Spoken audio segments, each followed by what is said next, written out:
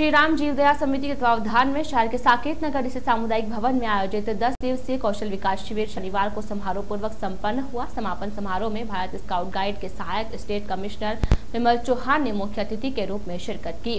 कार्यक्रम की अध्यक्षता विजेंद्र प्रजापति, पुष्पांजलि पारिक, अनिल अग्रवाल तथा शंकर जुरानी ने विशिष्ट अतिथि के रूप में शिरकत की।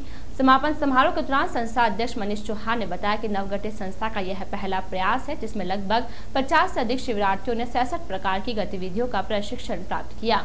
समापन कार्यक्रम को संबोधित करते हुए मुख्य अतिथि विमल चौहान ने कहा कि ऐसे शिविर बच्चों को जीवन जीने की कला सिखाता है।